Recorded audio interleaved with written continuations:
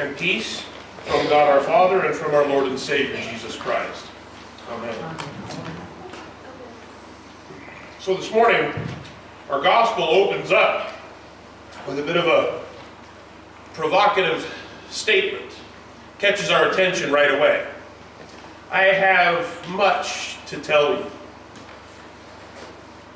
but you cannot yet bear it. Can't bear it at this time. So much I want to tell you, but you're not ready. An odd thing to say. I mean, even for Jesus, you know, who says a lot of odd things to his disciples, and they think to themselves, I'm sure, what's he talking about? Of course, we know he says they think that, because they say that a lot, even in this particular passage. He's forever confusing with stories, making our brows crumple up and furrow with his statements. But for perspective, this is not just out of the blue. This happens to be Thursday night. He's gathered with his disciples in the upper room when he says this. I have a lot to tell you but you're not ready for it yet. There's things that are about to take place, things that are going to happen that will help make you ready, but you're not ready yet. Of course, he doesn't tell them this. They've just celebrated the Passover. They've got enough to think about, well, Jesus has changed the words of the Passover and made them forever a different covenant for us. A covenant in his body and his blood. One of those things that made their heads furl and spin around and think, what is he talking about? Now Jesus is sharing his last words with his disciples. Soon this evening, Judas will betray him with a kiss. He's now only this little while, this, these short few minutes reclining at the table with his friends. These men and a few women who had been with him now for three years in a kind of intense theological training session. Three years walking up and down the land, listening to sermons, watching the acts of Jesus. Three years of on-the-job training with Jesus himself. What a seminary that would have been. What more does Jesus have to say that in three years he can't have said already? They've been there through all the sermons. They were there at the Sermon on the Mount, maybe one of the greatest sermons ever. The exchanges with the Pharisees and the Sadducees. They were there and eyewitnesses of the lame walking, the blind seeing, the deaf hearing, the demon possessed cured, and most recently, Lazarus raised from the dead.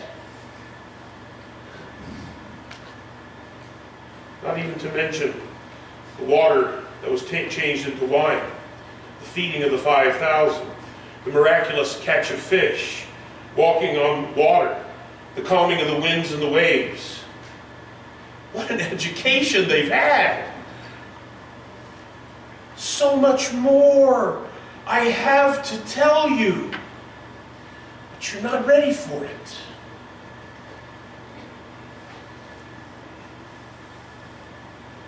What more did Jesus need to convey? What more did they have to learn? They were graduates from the first and the finest seminary in the world.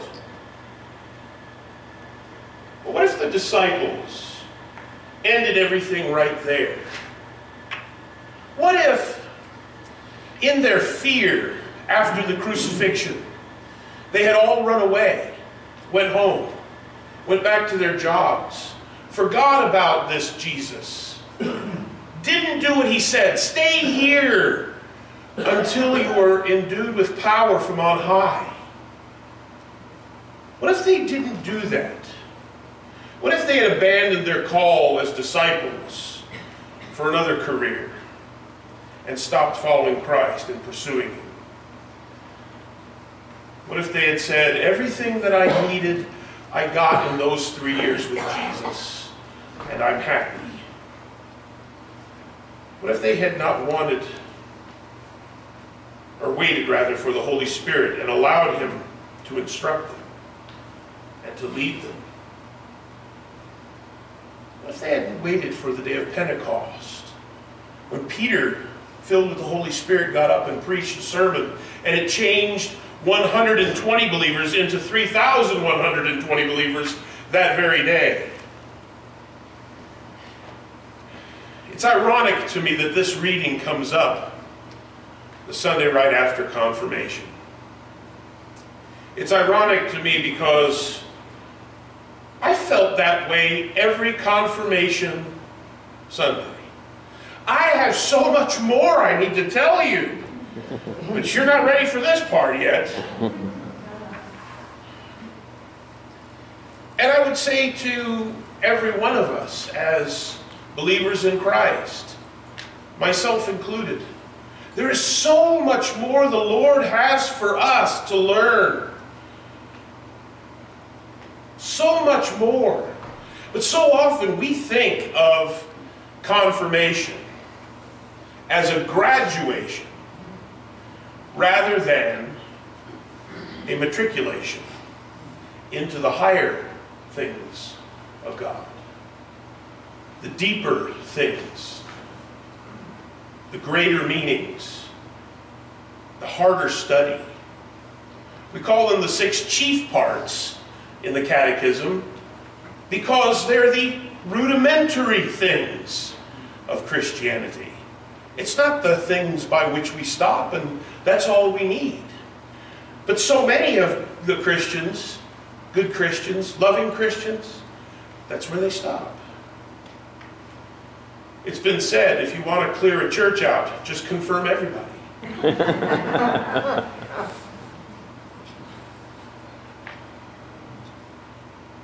Our Lord Jesus Christ lived roughly 33 years. He died in an agonizing, six-hour, horrific death that you can't really fit into your head. But prior to that, he had lived a life of holiness, the life we should have lived. Then he died sacrificially in our place in order to secure for us eternal life. That life eternal began for us at our baptism. The moment that we believed. It began for us then. And from the moment of faith, it never ends. For to be born once is to die twice. But to be born twice is to only die once. You must be born again. It's the same with our Christian education. His words to his disciples are as valid to them as they are this morning to each of us. I have so much more than just the rudiments.